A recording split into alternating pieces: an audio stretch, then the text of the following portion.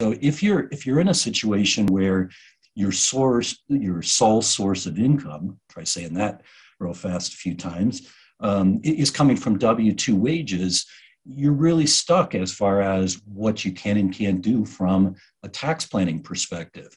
And, you know, and I'll show you why here as to what we're up against with a tax code that one, nobody understands, you know, myself included, and every other tax pro. And I used to use Bob Dole when he was um, in the Senate because he was probably the, the number one expert on taxes as a senator. That was his thing. Um, very knowledgeable about it, and, and even he admitted that he was clueless about some of the laws that that he passed or voted for. Um, and so we're we're dealing with a really complex animal, and we're also dealing with this April 16th date, and that is not only you know right around tax day, but it's our tax freedom day, and that's the day that the average American has is worked and is now free of working for the government. So think about January, February, March, and the first half of April.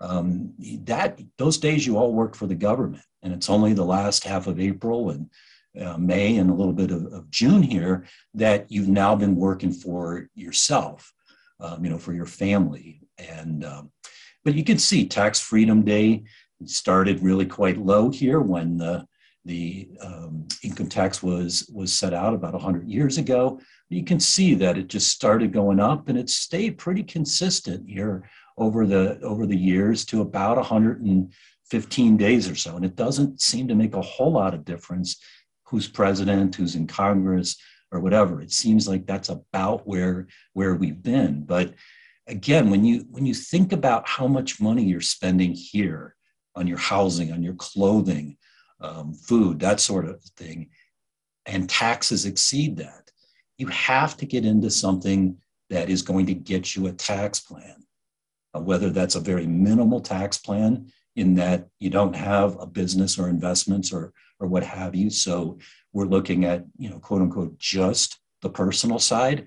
That's fine because there's a lot of personal tax planning that you can do. And notice that these are all tax law changes. And you know, I keep the Trump tax cuts in here, this 2017 um, bill that went into effect in 18, because these laws are still in play and the courts are just starting to interpret these.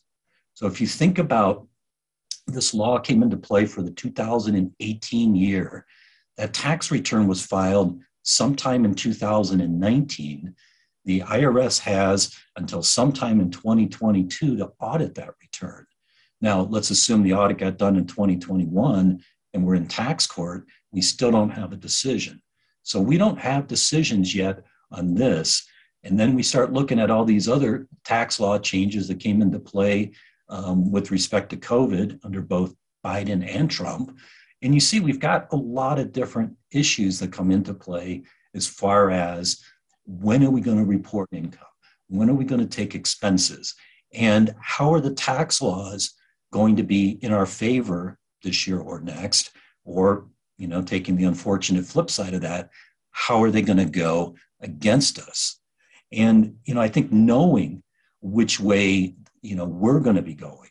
In other words boy you know i don't think my 2022 is going to be very good because i'm i'm just getting this business started or um, you know i'm just uh, i'm going to quit my job and and you know start a business or retire or whatever.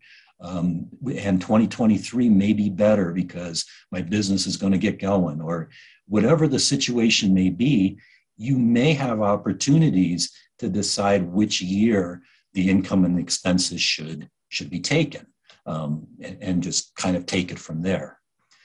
Like yesterday i'm keeping these slides in even though i've got this little no here. So none of these tax changes that are potential are going to happen this year. Um, they may happen next year, but they're not going to happen this year. But I'm keeping them in because for some people, and this goes into the QBI that I was talking about yesterday. Um, and by the way, that that QBI can apply to rental properties. And I'm going to show you today how you can make that work. Um, so it's not just a quote unquote business that, you know, I have to have my law practice or I have to be running the, the gas station or 7 Eleven or whatever. It's like, no, you don't. You can have rental properties and still qualify. But for whatever reason, um, when Biden was elected, there was this $400,000 number and it was showing up in the QBI and we're going to start re- reducing deductions and we're going to increase taxes and that sort of thing. So again, this isn't going to happen this year, but keep that in mind that we may see that next year or um, in future years. Uh, same thing here. There's not going to be tax increases as far as capital gains go. Um, so none of this is going to apply this year.